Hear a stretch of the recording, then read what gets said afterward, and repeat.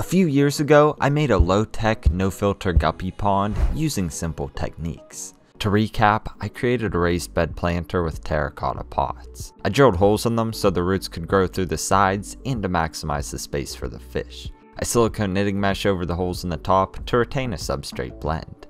I thoroughly rinsed and cleaned the roots of terrestrial plants prior to adding them to the planter. I added substrate and gravel to the bottom as well. After filling it up and topping it off with floating plants, I added the fish. They've enjoyed it over the past two years, thrived, and bred a lot. However, after the move, I decided to take it apart in place of something new for a number of reasons. I still have all of the guppies, but it didn't move well, and I want something a little larger that will allow me to enjoy them in a new light. That's where the 60 gallon cube aquarium comes in.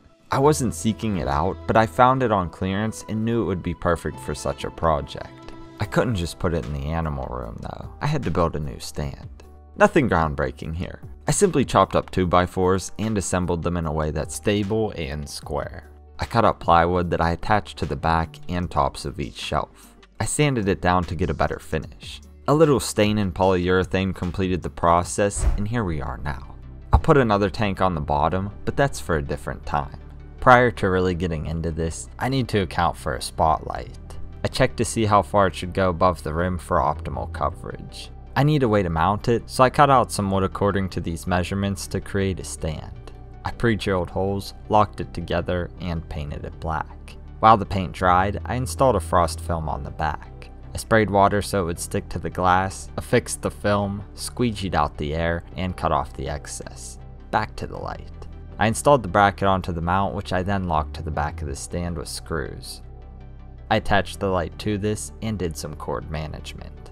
The result looks clean and pretty good other than the black bar going up the back. I don't know how visible it will be once I scape, so I'll leave it as is for now. I'll begin at the bottom of the tank with fine mesh netting. I got this from a craft store and it will allow me to do things differently.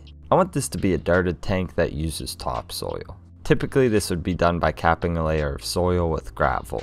Such tanks function really well for plants, believe it or not, but they have a major drawback in my opinion. It's pretty easy to stir things up and make a mess while doing maintenance. I recommend reading Ecology of the Planted Aquarium if you want to learn more about them specifically. Anyway, the idea here is to contain most of the soil within a mesh bag that the plants can still access while keeping things cleaner. Along with topsoil, I also have well seasoned substrate that I just pulled from a different setup. It's teeming with beneficial bacteria that will allow this tank to be somewhat established from the very beginning. I laid out the netting, poured on the cycled substrate, then the soil, and twisted the top to make a bag. I sealed it up with zip ties and removed the excess. After dropping it in the tank, I flipped it over to preserve the twisted end. I added two more bags as well for better coverage. I've imagined this setup with white sand from the very start.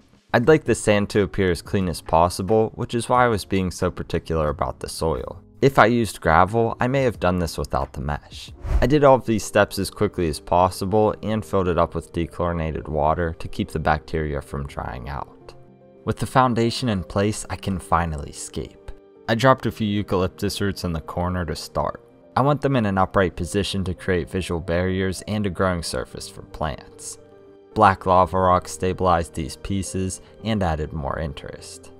Something I envisioned for this setup was high contrast. The combination of these elements really leans into that if you ask me. That said, I really struggled to get an appropriate layout with this one.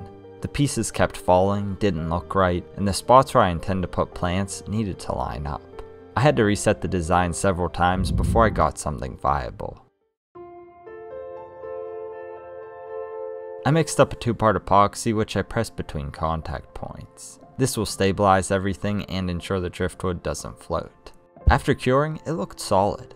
I want to utilize certain areas between the hardscape like this flat cut, open areas, and spaces between to place various terrestrial plants. They've been soaking for a while already. This loosened the substrate making it easier to remove completely. I didn't want anything remaining on them at all.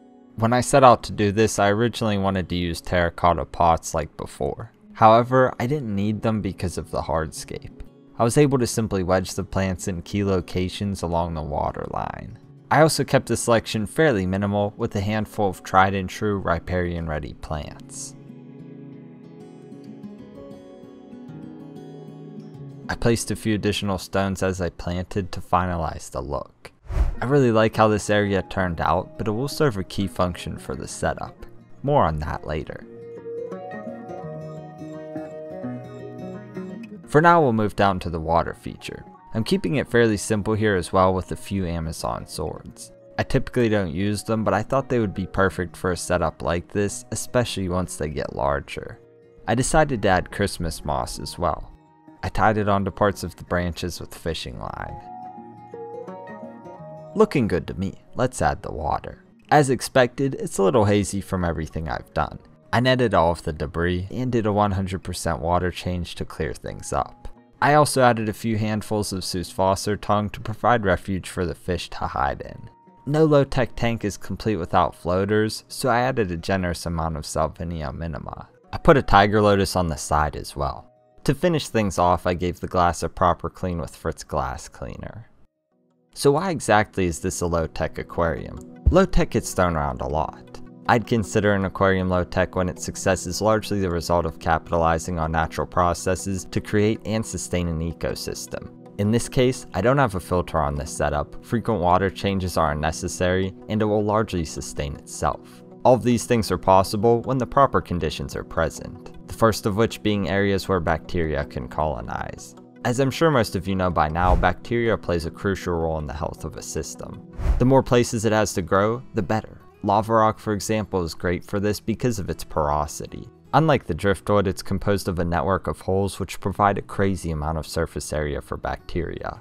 The substrate itself can also be viewed as a giant filter. Bacteria lives within it, which is why it's helpful to add seasoned substrate to a tank like I did before. This speeds things up significantly and makes it a lot safer to immediately add livestock to a new tank. That's why I always add turbo start nitrifying bacteria to new tanks as well. Without some form of beneficial bacteria in the tank, drastic ammonia spikes are guaranteed, which will most likely result in casualties. Frequent water changes can mitigate this as well, but if you start with bacteria, it makes the process very seamless. The other crucial component to no filter setups, like this, are the plants. More specifically the riparian and floating plants. Plants act like a sponge absorbing ammonia, nitrate, and other nutrients and impurities from an aquarium. Aquatic plants do this of course, but they're no comparison to terrestrial plants. Since their foliage is in the air, they have unlimited access to CO2, which makes them grow faster than their aquatic counterparts.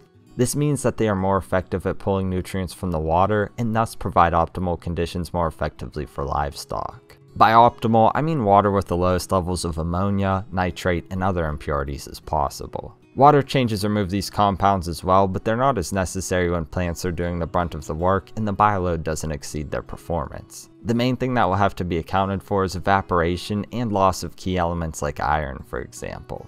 Periodic top off or water change with tap water is typically sufficient to replenish these. Plus, the waste produced by livestock also fertilizes the plants, which creates a symbiotic loop of sorts. In this way, low-tech setups work for you and the livestock, so it can be a more hands-off setup. There are of course limitations to this, but it can be a really great option for small fish like guppies. They thrived in the previous setup, so I wanted to take the essence of that and bring it into this aquarium. The only thing left to do is add the fish themselves. Oh wait, I need a cleanup crew too. Bladder snails and ram's horn snails will take care of algae, excess food, and debris. Malaysian trumpet snails will do the same thing, but they'll also stir up the substrate which reduces the amount of debris buildup within it and thus allows it to be processed more effectively. I may also add Amano shrimp later, but this is a good start. Now I can add the fish.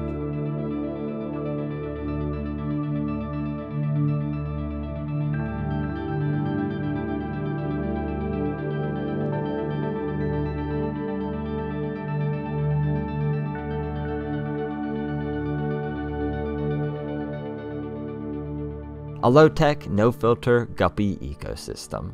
I really enjoy setups like this because it puts a huge focus on the fish while also being an easily maintained system.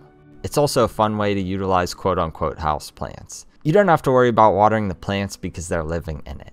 I should probably mention that not all plants will grow like this, but that's beyond the scope of this demonstration. I'm excited to finally have the guppies in a proper setup within the animal room once more. It's in a prominent location which is great because they're such a personable fish. In addition to the ones in this tank, I have a few more that I'm running through quarantine right now to add diversity to the bloodline.